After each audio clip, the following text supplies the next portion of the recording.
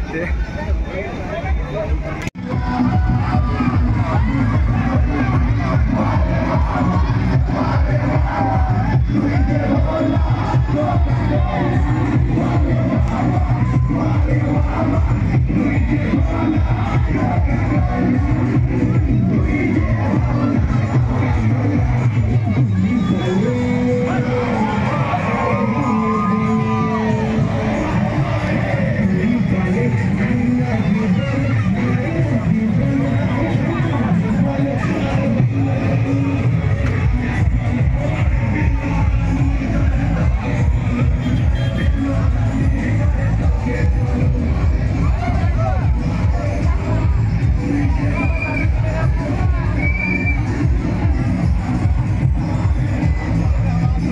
phối hợp viên phải tự tế hợp và đi làm